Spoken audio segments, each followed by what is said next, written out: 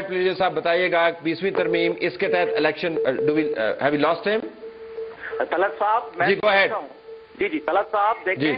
ये फकत एक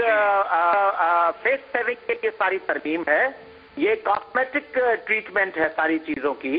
दर हकीकत पाकिस्तान के लोगों का बड़ा मसला ये नहीं है कि कौन सा वडेरा और कौन सा चौधरी केयरटेकर में आता है, किसकी सपोर्ट है, कौन नेक्स्ट रूल करेगा। मसला यह है कि इस तरमीम में या 18th और 19th तरमीम में पाकिस्तान भर में इलेक्शंस के जेन्यन मसाइल को एड्रेस नहीं किया गया। यूके में जो पाकिस्तान से आधे से ज़्यादा कम पॉपुलेशन है, उसकी 800 से जायद सीट्स हैं, पाकिस्तान की 340 सीट्स हैं। उसमें एक एक कॉन्स्टिट्युएंसी पे दो करोड़ खर्च होते हैं सूबाई असेंबली पे और चार करोड़ खर्च होते हैं कौमी असेंबली पे। आखिरी दिन जो ट्रांसपोर्ट का खर्चा है तलब साहब, इस तरमीम में कोई स्पेसिफिक बात की गई? कि आखिरी दिन जो ट्रांसपोर्ट मुहैया की जाए वोटर्स को वो सरकारी खर्चे इसमें बस। ये लिखा गया है कि जो इलेक्शन कमीशन है वो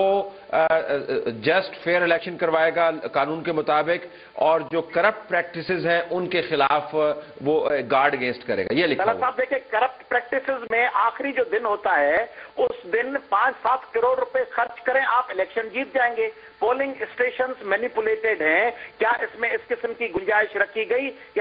खवातीन और मर्दों की पोलिंग स्टेशन जो 10 किलोमीटर एक दूसरे से दूर होती हैं उसकी वजह से खातन वोट नहीं दे सकती। कोई ऐसी बात की गई? कोई ऐसी बात की गई कि कोई इन्फ्लुएंशियल शख्स पोलिंग स्टेशन के बाहर आके कैंप करता है और मनोवरिंग करके अंदर अपने आदमी भिजवाकर वो ठप्पे लगवाता है उसकी बजाय सरकारी कोई कैंप हो कोई इस किस्म की बात की गई कि पब्लिक एक्सेस हो लोकल रिजल्ट्स को यानी लोकल इलेक्शन की रिज़ल्ट जैसे अनाउंस होती है वो वहाँ पब्लिक एक्सेस के ज़रिए आवाम को दिखाई जाए बजाय ये कि मुझे मुझे मुझे थोड़ा थोड़ा सा वक्फा दे पॉइंट में देना गो बैक टू देखिए बलेजो साहब जो सारी डिटेल्स दे रहे हैं वो और सारे जो इलेक्शन लॉज हैं जिसमें तरमीम हो सकती है उनके बारे में।